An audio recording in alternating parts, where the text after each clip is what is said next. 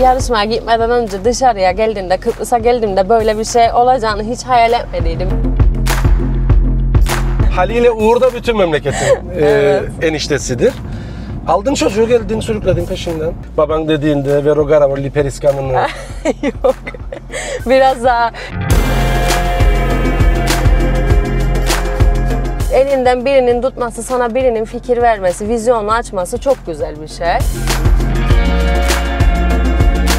22 markasını e, yarattınız. Çok düşünmeye gerek yok. 22 aslında binanın mahalle Evet, numarası. aynen Nasıl numarası. akıllı Nasıl başladı e, 22 macerası?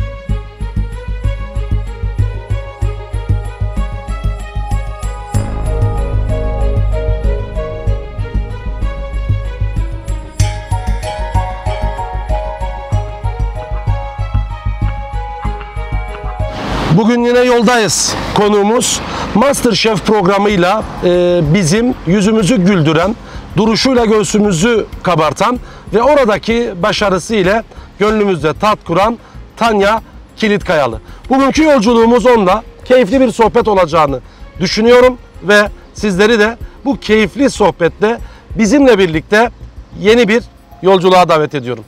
Başlayalım.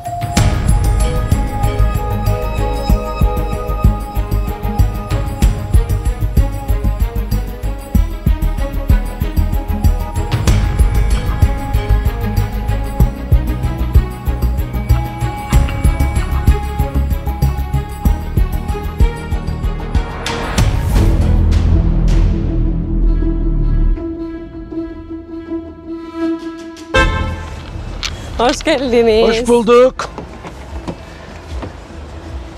Seni görmek güzel. Evet, sizi de görmek güzel. Kapatıyoruz. Aynı şekilde. Ve öyle devam ediyoruz. Tanya iyisin. İyiyim, teşekkürler. Alıştın mı sur içine? Alıştım. Artık tamamdır, buralı olduk. Evet. Çok teşekkür ediyorum sana davetimizi kabul ettiğin için. Ben teşekkür ederim beni davet ettiğiniz için. Benim için keyif. Ee, biz hep seninle gurur duyduk. Ee, program öncesi de yaptığım anonsta sevgili Tanya. Özellikle doğallığın. Şimdi ben biz seni tanıdığımız için daha doğrusu seninle sohbet edebilme, e, bir araya gelebilme şansına da sahip olduğumuz için e, şeyi çok rahat gördük. Yani aslında programda da o doğalın neyse hep onunla devam ettin aslında.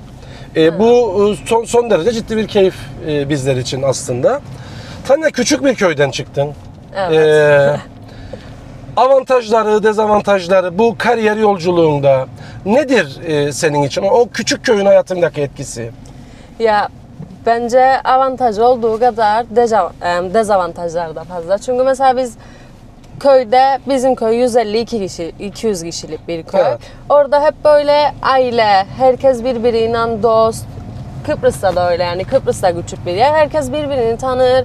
Herkes birbirinden aile. Biz burada çok rekabet nedir bilmeyik bence. Ben kendi adıma konuşmak gerekirse öyle. E Şimdi Yani rekabet etmek gücün açısından bir Birazcık, dezavantajını yaşadın. Evet yaşadım yani ben yarışmada o yönde birazcık daha zayıftım. Ha kariyere bakacak olursak aslında küçük bir köyden çıkmak tabii ki her şey birazcık daha zor. Ama bu birazcık da size bağlı yani sen nasıl bir şey yapmak istersen kendini o şekilde geliştirin. Bu şekilde ilerlen ve diye düşünürüm. Evet. Yani sen oraya gittiğinde o rekabet e, ortamını bekleyerek gittin, beklemediğin bir şey Yani buldun. Yani aslında- Masterchef aslında e, senin için e, her ne kadar e, popüler kültürün bir parçası falan filan diye böyle eleştiriler yapılsa da aslında gençler için çok ciddi bir fırsat. E, tabii ki. Onu nasıl fazla. değerlendirdin? Yani çok ciddi bir fırsat. Yani mesela ben yarışmaya gitmeden önce dışarıya geldiğimde, Kıbrıs'a geldiğimde böyle bir şey olacağını hiç hayal etmediydim. Yani ben oraya giderken de dediydim ki yani gideceğim.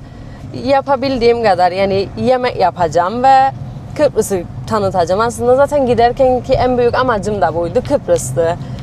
Şimdi E, bir dışarıya... Kıbrıs gecesi ya bir Kıbrıs programı yaptırdın orada. Bu ciddi bir şey aslında. Aynen yani sağ olsun ben oradayken de hep dediydim. Çünkü hep yazardılar. Mesela babamlar da derdi. E söyle de bir Kıbrıs şeyini de günü de yapın ama şimdi ben oradayken bir de orada programlar çok önceden belirlenir. Böyle bir şey mümkün değildi. Ha çıktıktan sonra bu fırsatı yakaladık bu sezon ve orada bir Kıbrıs yemeğini en azından biraz olsun tanıtabildik. En azından insanlar şimdi gulluri yani humus çorbasını falan bilir artık. Çok enteresan. Şimdi dün tabii ki evde konusu geçti. Benim 9 yaşında bir oğlum var. Seni çok Allah seviyor. bağışlasın. Selamını getirdim. Tanıştınız da. Evet aynen. Ee, Raif dedi ki baba dedi Masterchef'in nesi yapılıyor dedi ya. Ee, Masterchef'in elit programı yapılıyor. İnşallah dedi Tanyap'la oraya katılır. Ee, dolayısıyla bu e, iyi dileği de e, Evet, sana getirip teşekkür ederim, e, iletmiş olayım. Tanya bir yeteneğin var. Yani e, küçük yaştan beri aslında annenin ve babanın ismini de Garavolli koyarak. Evet. Biz biliriz Garavolli'nin ne olduğunu. Çok meraklıydı benim babam da yani giderdi toplardı 11 defa kaynatırdı o suyu Evet, falan aynen, filan. çok kaynatırdı. Ee, yani Ga- Garavolli'nin ne olduğunu çok iyi biliriz. Annenin babanın böyle bir inadı var yıllardır. Evet. Kar ederler, zarar ederler, para kazanırlar, kazanmazlar ama gördüğümüz bir şey var. Çok emek ederler. Evet, Çok kolay çok bir şey e, değil. Ee, bir etkisi oldu mu bunun hayatında? Yani annen Tabii baban ki. ve bu bu gayretleri, bu çabaları aslında o belki de o rekabet açığım oluştu dediğin Evet. kısımda annenin babanın ciddi bir inadı ve e, çabası var. Tabii Anneni ki. babanı nasıl değerlendirin bu kariyer yolculuğunda? Yani ben eğer bugünlere gelebildiysem kesinlikle annem, babam, ailem sayesinde geldim. Bu kariyeri çizerken de tabii ki onların da etkisi oldu. Yani ben küçükken hep meraklıydım. Annemle yemek yapardık. Annem mutfaktayken gideyim yardım edeyim. Bu şekilde zaten bir meram vardı. Sonra restorantı açtık. Restorantı açınca da küçüktüm zaten yani ortaokuldum Kaç galiba. evet evet. E, öyle olunca zaten ister istemez işin içine girdim. Anneme mutfakta daha çok yardım ederdim. Meze yapardık. Babam da Kıbrıs kültürüne zaten çok sahip çıkan. Babanda da bir inat var yani. Ben Evet. tanıyorum. Çalıştım ben babamla. Aynen. İşte babam da tam Kıbrıs kültürünü tanıtmak isteyen, sürekli paylaşan, sahip çıkan bir adam. Bunların bir eğitim geçmişi yok.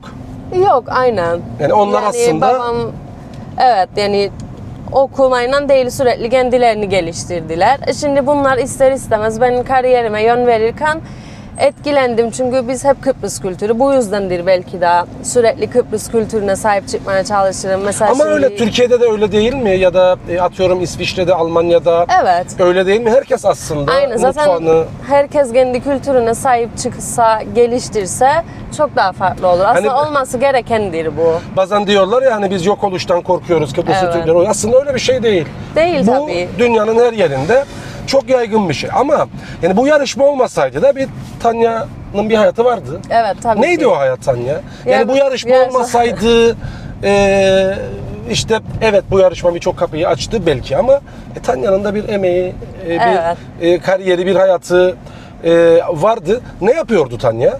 Ya- Yarışmadan önce ben zaten e, üniversitede gastronomi okudum. Yüksek lisansımı tamamladım ve eğitim vermeye başladıydım olsun. üniversitede. Öğretmen- öğretmensin, evet. Öğretmendim zaten. Yarışmadan önce aslında bu şekildeydi. Öğretmendim. Hafta sonları bizim restoranttaydım. Gene aynı şekilde aslında hayatım devam ederdi. Ha yarışmadan sonra ne oldu? Yarışmadan sonra ciddi bir tanınırlık oldu yani. Şimdi çoğu insan tanır senin kim olduğunu bilir. Bu defa artık birazcık da hayaller değişmeye başlar. Birazcık daha fazla bir şey yapayım, insanlara biraz daha fazla bir şeyler sağlayayım moduna giren. Yani şöyle bir şey. Örneğin babanın belki de şöyle bir hayatı vardı. Ya ne uğraşır bu öğretmenliğiyle falan. Gelsin devralsın Evet. Garavoli restoranı büyütsün diye bir hayali vardı. e tabi ister istemez çünkü hep derdi yani biz bunu yaptık ama bu size kalacak. Halen var mı? Evet halen daha Halen daha var. Seni İster istemez. ama gidiyorsun değil mi? Ben Yok son- giderim. Ben en son geldiğimde oradaydın. Evet Gene gördük aynen seni. gene Ben- karşılaştıydık. Ee, seni orada görmek keyifliydi. Tanya bir de sen orada iş yapıyorsun. Ama gelen herkes de seni orada görmek istiyor. Evet. Yani mesela ben utandım bana çocuğum 10 defa dedi baba Tanya ablayla resim çekecek miyiz falan. Ya kız içeride uğraşır şimdi gideceksin diyeceksin Tanya gel çocuk sana resim çekmek ister falan ama çok böyle çok enerjin de yüksek ve şeysin böyle kimseyi de reddetmiyorsun yani. Bu, Evet. bu e, ben yaşadım bunu kariyerimin ilk başında. Şişiriyor mu egoyu bu? Onu nasıl kontrol ettin? Nasıl yönettin? Yani ego ego aslında çok farklı bir şey. Şimdi biz bunu meslekte çok görürük. Şimdi birçok farklı çeşidi var zaten egoyu. Yani bu benim için çok güzel bir şey. Benim çok hoşuma gider. İnsanlar gelir mesela utana sıkıla fotoğraf çekebilir miyim? Ben zaten birazcık şey pozitif ve çok cana yakın olduğum için benim için güzel bir şey. Yani hoşuma gider. Zorlanmadın İş ilk yaparken- başlarda. ya bazen yani bazen zor olur çünkü sürekli pozitif olmam mesela canın sıkkın olur bir şey olduğunda ama en azından on insanlar geldiğinde enerjin değişir. Bu şekilde bakarım olaya belki o yüzden. Oradan İşte, besleniyorsun aynen, aslında. oradan beslerim Pozitif. Evet, aslında. Çok, çok güzel, çok güzel bir şey. Ee, Tanya tabii Kıbrıs'a geldin. Evet. Var mıydı kalma şansın Türkiye'de? Tabii ki vardı. Yani Türkiye'de de kalabilirdim. Yani iş fırsatları oldu. Birçok teklif geldi yani reklam yapabilme açısından da ama o zaman geldim Kıbrıs'a final için tekrar gidecektim. Sonra Covid oldu, kapanma oldu. Bu defa çıkamadım, gidemedim. Ee, İster istemez bazı teklifleri ittirmek zorunda kaldık. Ama ondan sonra başka kapılar açıldı. Başka yolda ilerlemeye başladık diyebiliriz. Yoksa Evet. istesek kalabilirdik. Onu onu konuşa konuşacağız da. Yani var mı kafanın bir yerinde e, Türkiye'ye gitmek veya dünyanın başka bir ülkesine gitmek gibi? E tabii ki yani şey bu hep herhalde her şefin hayalidir ama tabii ki bir yurt dışına gidip de orada gene mesleğimizi yapmak böyle bir hayalim halen daha var. Yurt dışı hayalim her zaman vardı. Halen daha devam eder. Türkiye'ye de olabilir. Türkiye büyük bir ülke, Evet. büyük bir okyanus. Orası aynen. Ee, şu anda gel gel diyenler var mı? Gel gel başla şöyle olsun böyle olsun Ya diyenler. yani vardı ama şu an zaten kendi yolumuzda olduğumuz için artık birazcık da görüldü neye yolda olduğumuz. O yüzden şu an için çok gel diye ısrar eden yok zaten. Ee, bir marka yarattınız aslında. Ben e, Mehmet'i de Mustafa'yı da tanıyorum. İkisi de e, kafaları açık. İkisi de adalı ama dünyalı. Evet, Çünkü hem adalı hem kesinlikle. dünyalı olmak çok zor Biraz zor. biliyorsun. ee, ikisi de hem adalı hem dünyalı. Ee, 22 markasını e, yarattınız. Çok düşünmeye gerek yok. 22 aslında binanın mahalle Evet, numarası. aynen Nasıl numarası. akıllıyım? Evet. Neden biliyorum bunu da? Ee, Sur içinde çok yaygın bu artık. Yani başladı ve öyle devam ediyor. Ee, artık binaların numaraları veriliyor e, işletmelere de. Nasıl başladı e, 22 macerası? Ya aslında biz adaya geldiğimizde tamamen bir rastgele başladı. Hatta ilk başta Uğur'u gördüydü. Mustafa abinin kardeşi Selin dediydi bizim böyle bir planımız var. Burayı aldık hani oraya seni alalım şef olarak.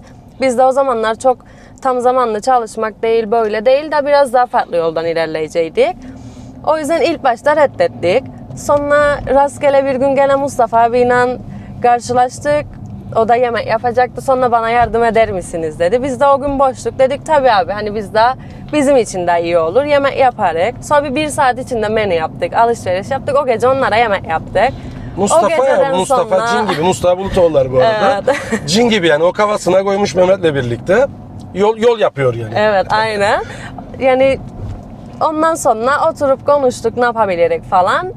Ve bu yolu çizmiş olduk. Yani gerçekten çok güzel bir karşılaşma oldu. Gerçekten iki insan, iki aile de çok değerli ve kafalarının açık olması bizim için çok büyük bir şans.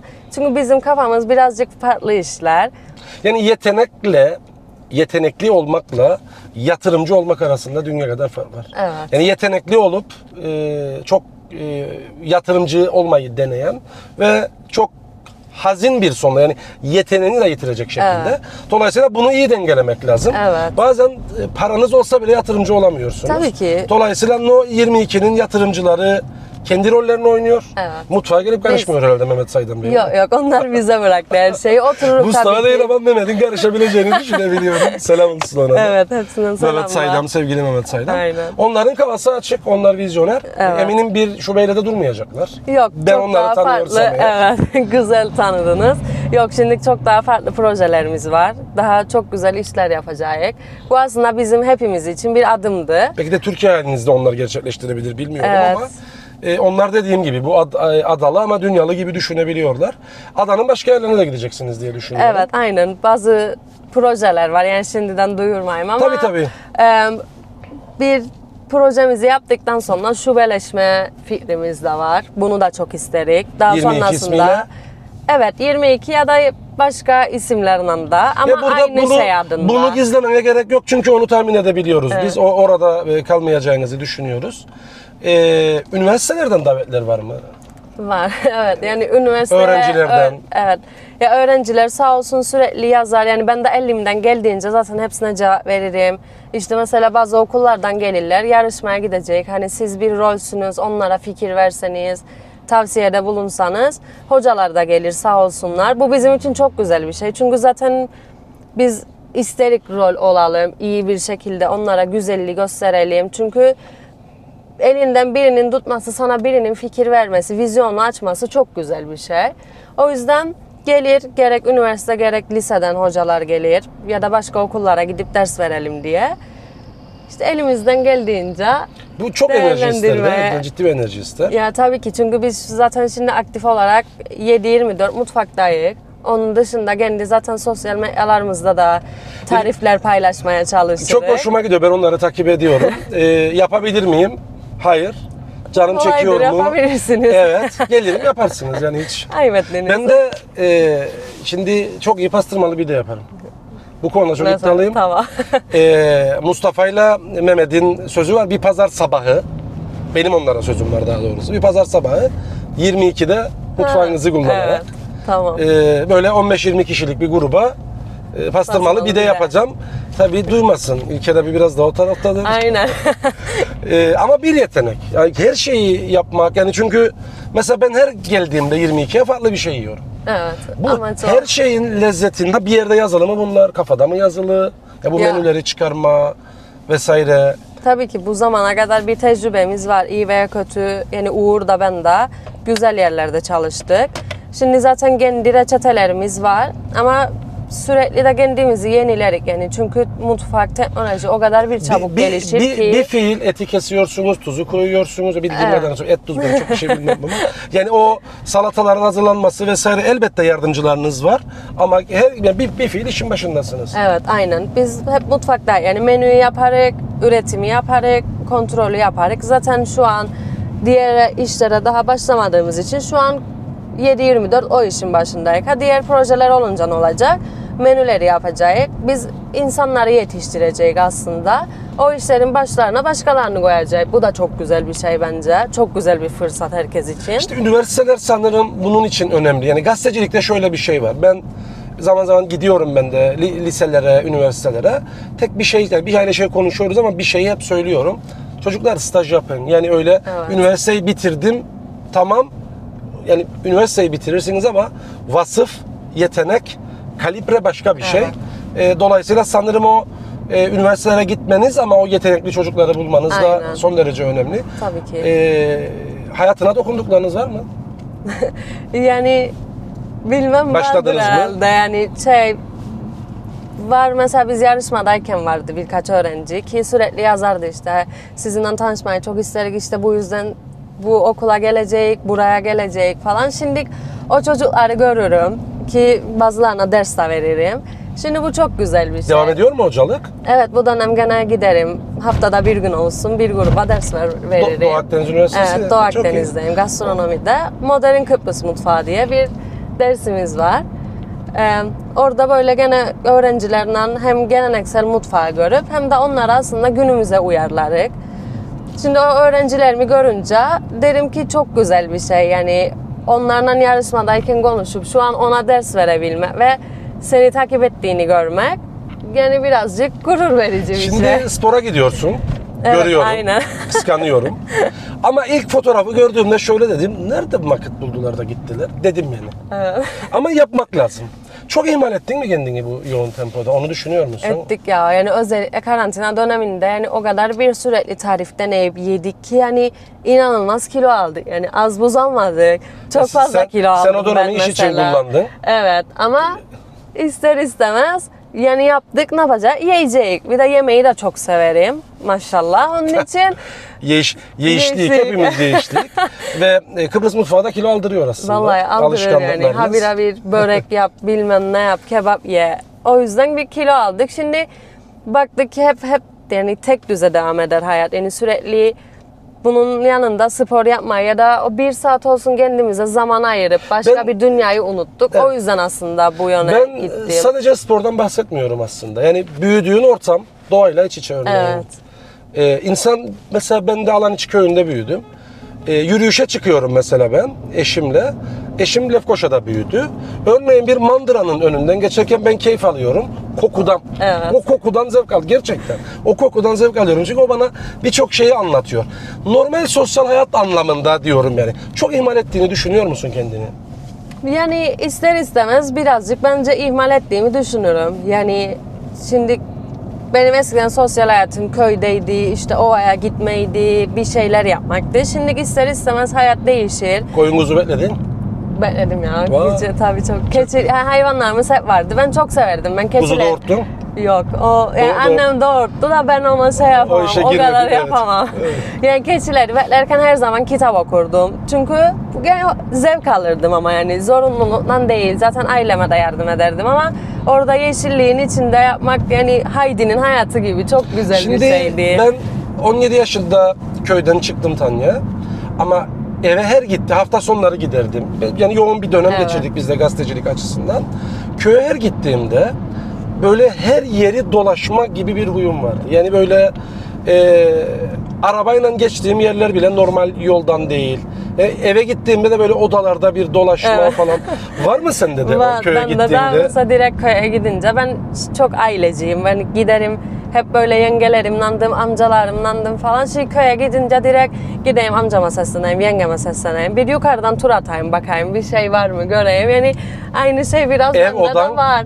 E, odama girince böyle bir şey olurum. Vay be derim yani artık çok şey yapamıyorum. O yüzden aynı şey bende de var. Geçmişe yolculuk her zaman bizi mutlu eder. aynen. Ben çok seviyorum. Onu gerçekten merak etmiştim e, sende de.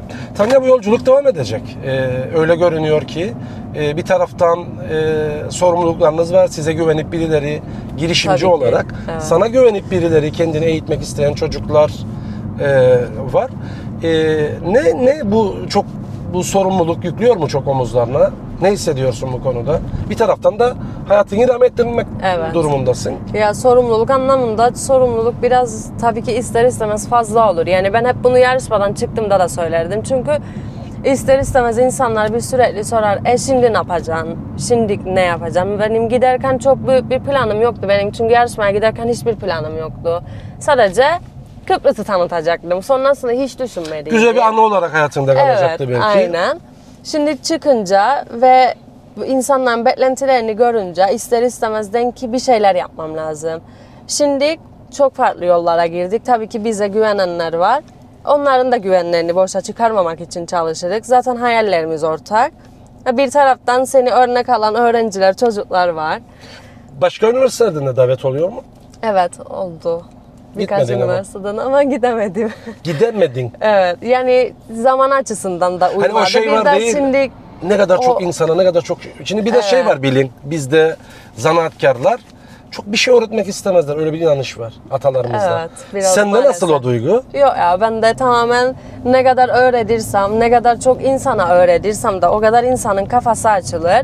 Bu bizi hep beraber yukarı taşıyacak biridir. Yani bu biraz kafadır aslında. Bu bizim aşçılık mesleğinde de çok var. Yani usta Öğretmeme. iste, evet istemez sana reçetesini versin ki işte sen onu geçmeyesin ya da yerinden etmeyesin. Bu benim için bir sıkıntı değil yani ben bütün tariflerimi de veririm. Ama o tariften ileriye gidemedikten sonra benim için bir kimse için bir anlamı yok. O yüzden ben ona çok katılmam. Ne kadar çok insanın kafasını açıp eğilirsek o kadar hepimiz için iyi olacağını düşünürüm. Sen yani sevgiyi ne kadar büyütürsek o bizi o kadar Evet. gelir bulur. Ben annemin hep söylediği bir şey vardı be. Ben de yaşlandım yani. Bak geçmişten çok örnek Ya, veririm. ya. Ee, annemin hep söylediği bir şey vardı. Annem sen gönlünü, bak hiç unutmam bunu. Annem sen gönlünü açık tut. İyilik yap hep. O gelir Evet. zaten seni bulur. Ee, yani iyilik yaparken de ne zaman hesabı yap ne para hesabı yap. O seni gelir bulur Kesinlikle. annem. Ee, kısmının çok faydasını gördüğümü e, düşünüyorum. Ee, annen nasıl izliyor seni? Yani annem de işte böyle yani ikisi de aynı aslında annemle babam da böyle gururla izler diye düşünürüm böyle Kendi hayallerini erteledi onlar herhalde. Evet. Yani, yani- babam hep düşünürdü ki restorantı Çünkü alacağım. senin- Çünkü hayatım öyleydi. yani eğitimini planlarken Doğu Akdeniz Evet. Üniversitesi'ne gastronomi eğitimine giderken bir restoran vardı. Evet aynen zaten vardı orası. O yüzden öyle olacaktı. A, tabii ki çok bırakmak istem. Çünkü orası da geleneksel Kıbrıs mutfağı. Ama bakacak ya. kısmet Kardeşin oraya var da- değil mi? Evet kardeşim de var. O da Bir- işler aynen. Orada yoksa başka- Yok yani elinden geldiğince o da köyde yardım eder zaten babama. O da çiftçiliği çok sever. Ekip biçer zaten. Ee, ama İşi o? kendi evet esas işi odur aslında. Hobisidir zaten çok sever. O küçüklükten belli. Kombay hastasıydı. Eksin bitsin onları çok sever. Tırnaklar toprağa geçmiş bir kere. Aynen. Kurtulmaz o. o O iyi, iyi bir yüzden şey. yardım eder. Hafta sonları, Onlara da- hafta arası, E, nasıl yani? yani hafta sonları oradadır yoksa sürekli... Yok o zaten evde kalır, oradadır. İşte işi var diyalıdır. Akşamcı olduğunda gündüz işlerini yapar. Hala olmadığında ha? Yok Yoksa- yok olmadı. O benden küçüktür. Kaç yaşında? Yaş. Tanır em, 24 değil. Daha tam zaman Daha olur. var aynen 24 yaşındadır. Tamamdır yavaş yavaş başlayacak. Evet, aynen. Ee, Tanya bir de yalnız değilsin. Şimdi köyde büyüdüğün için e, şimdi biz enişte dedik. Evet. Sadece öyle halamızın, teyzemizin kocasına da değil. Yani biri köyden kız aldıysa o artık bizim eniştemizdir. Evet. Ee, dolayısıyla sen artık bu ülkeye mal olmuş birisin. Haliyle Uğur da bütün memleketin e, Evet. eniştesidir. Aldın çocuğu geldin sürükledin peşinden. evet. Ee, nasıl bir Uğur? Yani Uğur yani zaten çok iyi, çok temiz kalpli bir çocuk ama işine, mesleğine özellikle çok fazla aşık bir e, insan kendisi. Yani bir şekilde bir şeyler oldu. O da gelmek istedi buraya. Zaten daha önce Kıbrıs'ta bulundu. Çalıştıydı burada. O yüzden zaten Kıbrıs'ı Daha önce severdi. Kıbrıs'ta bulundu. Evet, evet. Aa, bunu 2010 bilmiyordum. 2016'da çalışmış burada Girne'de. Birkaç sene buradaydı. Zaten Kıbrıs'ı biraz bilirdi. Yani bu kadar çok bilmese de bir Kıbrıs sevgisi vardı zaten. Yani mesela e, geliyor mu seninle restoranta? Gelir gelir tabii giderik hafta sonu. Yani Peki. uydunda köye beraber giderik. Baban dediğinde Vero Garavo Liperiskan'ını Yok. Biraz daha yani alıştı bizim konuşmalar ama Şakası ilk alıştı başta herhalde. alıştı ya onlara. Ama ilk başta onun için daha zordu yani ilk başta köye gittiğimizde falan böyle şimdi herkes bizim gibi bir de fazla hızlı konuşuruk, tam Kıbrıslı konuşuruk. Ya, yani Evet. anlamazdı bazı şeyleri. Ama şimdi alıştı yani biraz. e, o hızlı konuşma e, tarzımız var. Ona alışacaklar. Evet. E, orada bir sorun yok. Bizim enerjimiz daha yüksek. Yani biz lazım hem konuşalım hem iş Evet. yapalım. İki iş aynı anda olmuyor. Buraya adapte oldu mu? Buraya adapte oldu yani. Alıştı artık. Direkt yani Hayalleri, Ya- planları. Evet yani artık zaten buraya geldiğimizde de hep bir ne yapacak modu vardı şimdi. Sonra Mehmet abi Mustafa abiyle karşılaşınca ki gördük aslında kafa yapımız, hayallerimiz de aynıydı. Sonra burada işe başlayınca gelen insanları da artık tanımaya başladı. Nasıl olduğumuzu görmeye başladı. Artık Kıbrıs'a alıştı. Zaten en çok herhalde aldığı sorulardan biri de budur. Kıbrıs'a alıştın mı? Artık alıştı. E, uzun vadeli planlarımız var herhalde. Evet. Bir planlarınız birlikte. E, soruyor mu annen baban soru bu konuda yoksa sormuyor Yok mu? ya sormazlar. Ben, ben sorayım mı? yok yok girmeyelim onlara. tamam. Böyle tamamdır. tamam. Ee, tabii bir taraftan da kendinizi geliştirmeniz lazım. Evet. Ee, o kısmı nasıl hallediyorsunuz bu yoğunluk içerisinde? Yani o kısmında tabii ki biz her zaman kendimize idol olarak, olarak gördüğümüz şeflerimiz var. Bir daha sürekli zaten en büyük kolaylık sosyal medya var. Yani ben de kendimi çalıştım ama sosyal medyanın çok etkisi olur. Vizyon açma, kendini geliştirme açısından. Em, işte örnek aldığımız şeflerimizi takip ederek sürekli araştırır yani işlediğimiz kadar da çok vakit harcarık kitaplarda ne yapabilirik de bu tarafta da çok vakit harcarık. Bu şekilde kendimizi geliştirmeye çalışırız. Yenilikleri takip ederek aslında. Yani bu yavaşlayabileceğiniz bir süreç değil. Yok kesinlikle. Ee, dolayısıyla bir taraftan kendinizi geliştirmeniz gerekiyor. Diğer taraftan o vizyonu kendinize ve ekibinize ve yatırımcılara da belki de e, monte etmeniz e, gerekiyor.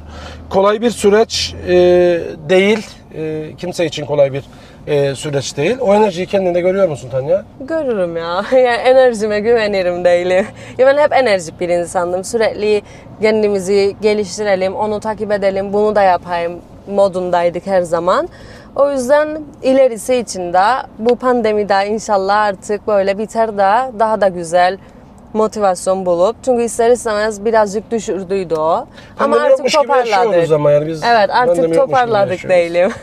E, bundan bir sene önce hayatta bu arabaya Tabii ikimiz ya, böyle binmezdik a- yani. asla. E, ben yaptım bu arada antijen. Evet, benim biz de her hafta yaptığımız için rahatım. rahatım yani. E, yok ben senden bulaşabilirim hiç sorun değil benim için. Övünerek söylerim ben Tanya'dan. E, Kaptım. kaptım diyor hiç sorun değil. E, tabii Tanya e, bir de çocukluğum var, arkadaşlarım var, gençliğim Evet. var. E, görüşüyor musun? Görüşebiliyor musun? Yani fırsat olduğunca şimdi herkes çalışır ama tabii ki arkadaşlarımıza da zaman ayırmaya çalışırız. İşte bazen burada Lefkoşa'da olan da vardiyası uyanlarla sabahları görüşürük. Bir kahvecik olsun içmeye çalışırız. Ee, zaten sosyal medya var. Oradan sürekli bazılarla grubumuz var. Her gün konuşuruk sürekli. Günaydındır, ne yaparsınız gibi. Elimden geldiğince e, herkesten iletişimimi koparmamaya çalışırım. e, ve bana çocukluktan kalan arkadaşlarım var. Mesela Sertaç diye bir arkadaşım var. Sertaç arar mesela ben bazen bakamam. İşte programdayım. Yani mesela şimdi gördüm birkaç kişi aradı. Yine bakmadım. Bakamadım. Hiç mesajı değişmez. Tabii Lefkoşa'ya gittin adam oldun. Program yapan. Seni adam ettiler Lefkoşa'da. Bize bakman gibi e, bir şey söyler. Karşılaşıyor musun sen de bu sistemlerle zaman Tabii ya zaman? yani mesela olur ister istemez. Bir de yani yazarlar mesela özellikle bazı sosyal medyadaki takipçi fazladır. Bu defa yazarlar ama o kaybolur arasında görmen. Bu defa tabii ya.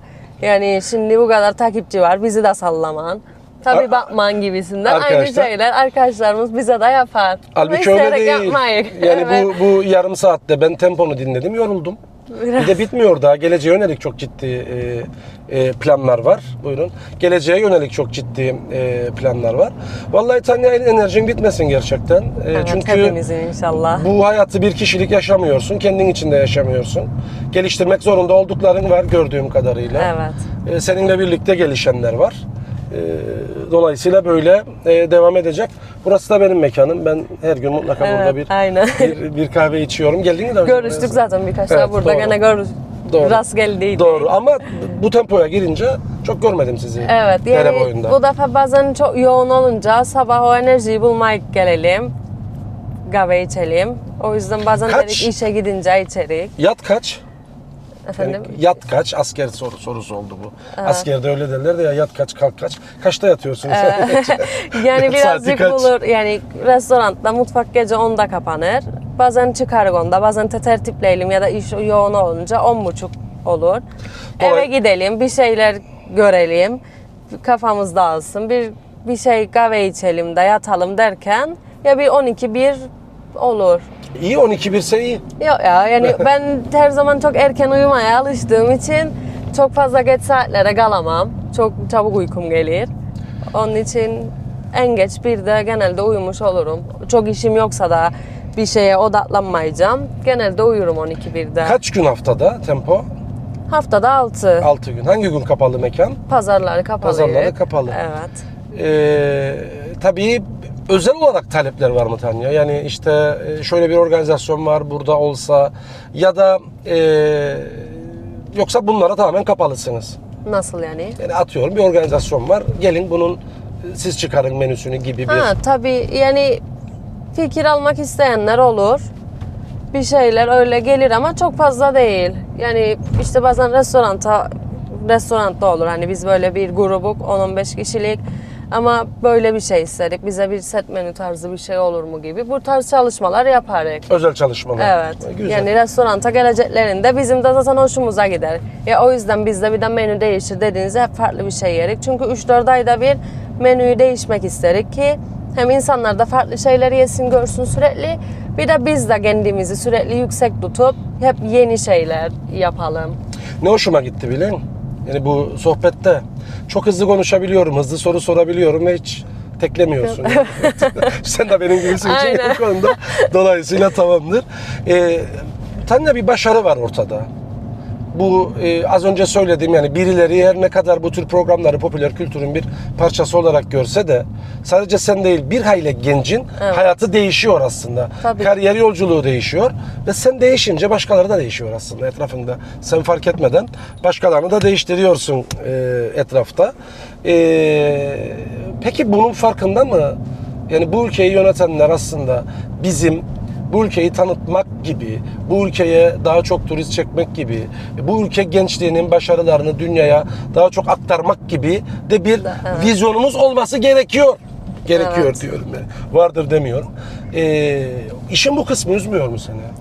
Yani üzer çünkü küçük bir ülkeyik ve mesela spordan bütün dallara çok tanıdığımız var. Ben de dahil. Hepimiz uğraşırık bir şey için. Kıbrıs için uğraşır herkes ki bir başarı elde eder. Ama sonra yukarıdakilerden böyle bir değer görmeyince, bir uğraş görmeyince ister istemez bence üzüldüğü olur insanın ki şahsen bu bende oldu yani ben gidip bu kadar uğraşmışken ki biraz olsun tanıtabildiğimi düşünürüm. Az çok Biraz bu mı? tartışılır ama yani ister istemez bir gel bakalım yani neymiş bir konuşulsun bir bir şeyler olsun ister Tanya, insan ve bu bizim gençlerde çok var bence. Yüz binlerce sterlin harcanıyor bir uluslararası fuara gitmek için. Ve ben gittim o, o fuarlarda da gördüm. Hani bu program, hele hele seninle bu sohbeti bir siyasi zemine sokmak istemiyorum. Ama sadece o TV8'deki Kıbrıs gecesi için biz bu kadar para versek yaptıramazdık. Yani bazı şeyleri parayla yap, yaptıramıyorsun. Yani. Aynen. Bazı, bazı şeylerin Öyle, aynen, değeri çok kesinlikle. fazla. Ve dönüp yıllar sonra geriye baktığında ne yaptın be Tanya sen bu memleket için? Yani işte gittin popüler olduğunda falan filan dediklerinde senin anlatacakların var. Bu ülkede yıllarca siyasette bulunmuş olanların ben bu ülkeye bunun için yaptım diyecekleri bir hikayesi yok. Görmeyik. Sevdin mi bu hikayeyi? Evet. Yani Kendi şu hikayeni. kendi hikayemi tabii ki sevdim. Çünkü ben her zaman derdim ki biri bana bir şey sorduğunda ne yaptım? Ben göstermek istediklerim vardı. Mesela şu anda Allah isterse bir kitap çıkarıyorum. Yazılı bir en azından kaynak Kitap? olacak. Evet. Aa, müthiş. Kıbrıs mutfağı da modern Kıbrıs mutfağı. Hem geleneksel var içinde. Seri halinde olacak inşallah. Biz birinciyi çıkaracak. O şu an basıma Uğur'la birlikte gidiyor. yoksa kendin? Yok bu benim kendimin yani ilk başlangıçta kendim yaptık. Belki ana yemek kitabında. Bu biraz daha başlangıçlar mezeler tarzıdır. İnsanların evde kolaylıkla örneğin bir çakız lezi alıp da daha farklı bir şekilde yiyeceği ama pratik bu tarzda bir kitap yaptım. Bir öneri yapabilir miyim? Tabii ki. İnsanlar az okuyor, çok izliyor bu dönemde. Evet. E, dolayısıyla e, kitapla birlikte bir CD, o CD içerisinde veya bir flash Tarif- disk, evet. o bu yaptığınız tarifler e, bence çok güzel olur. Evet doğrudur. Seviyor e, insanlar. E, oku, okumaya devam edebiliyor musun bu tempoda? Evet yani elimden geldiğince Mesleki devam olarak ederim. okuyorsun, onu anladık. Evet, başka kitaplarda tabii yani felsefe yani başka kitaplarda tabii ki okumaya çalışırım. Boşluk bulduğumda en azından biraz olsun. Bu tempo bir süre daha devam edecek. Bu tempo bir süre daha devam edecek. Öyle görünüyor. Evet, E, hazırsın. hazırım. Hazırsın. Evet, senin hikayene dönelim. Ee, dönüp geriye baktığında ve bu hikayeyi değerlendirdiğinde ne hissediyorsun? Yani mutluyum, biraz gururluyum. Yani hoşuma gider aslında baktığımda yaptıklarıma, yapabildiklerime daha iyisini yapabilirdim var ama aslında bu hikayede birçok duyguyu yaşarım yani ben kendime baktığımda. Ama en çok mu- mutluluk ve gurur görürüm kendi kendimden. Şimdi- Biraz şey egoist oldu ama. Hiç egoist olmasın. bu, bu konu ben sordum bu soruyu ve bilerek sordum. Ben nereye inanırım e, Tanya? Eğer bir insan isterse, isterse böyle dağ var ya, Evet. dağ olsa dayanmaz. O insan yapar. Tabii Ve ki. ben eminim, bak yavaş yavaş sonuna da geliyoruz e, yolculuğumuzun. Ben eminim e, Masterchef olmasa Tanya böyle e, akademide hapsolmuş bir akademisyen olarak kalmayacaktı. Evet büyük ihtimal oradan gene çıkardım. Gene bir şeyler yapmaya çalışırdım. Yani şöyle bir örnek verebilirim.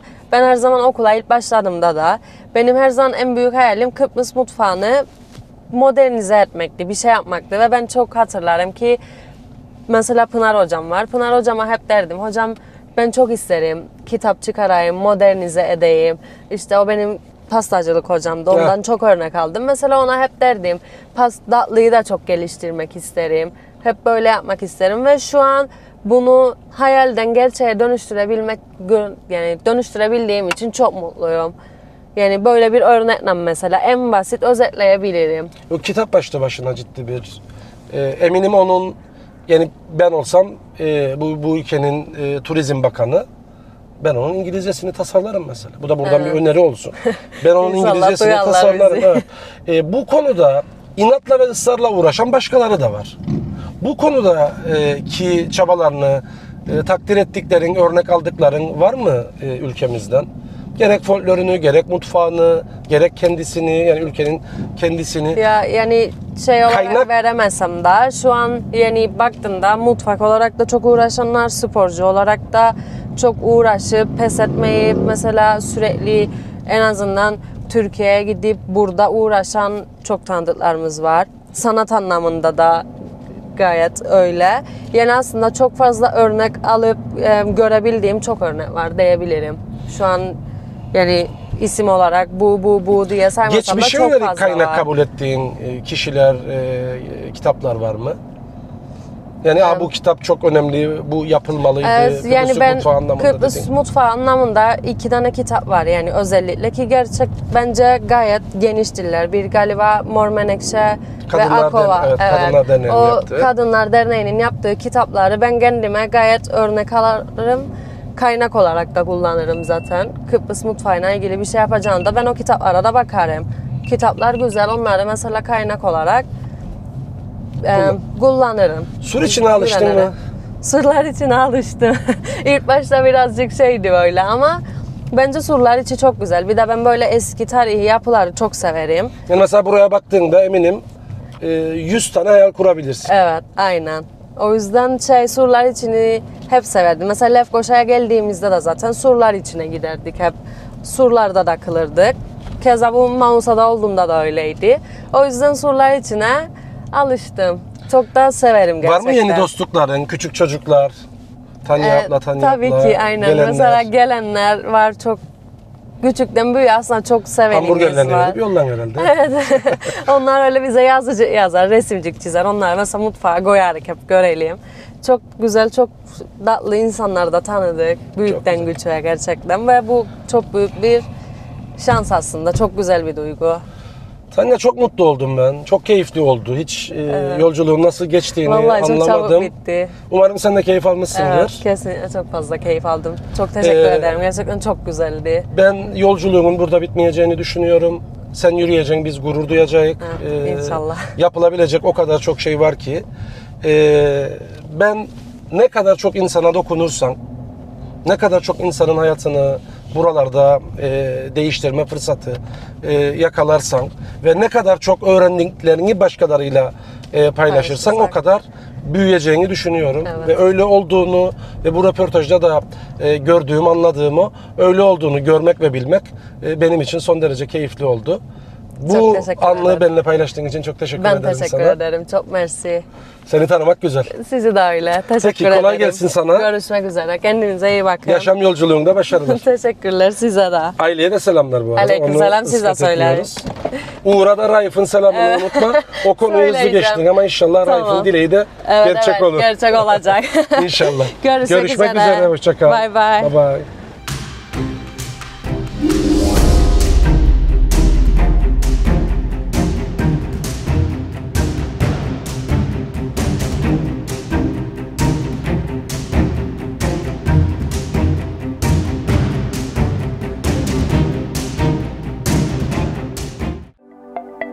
Hüseyin Ekmekçi ile Uzun Lafın Kısası Alpet sundu.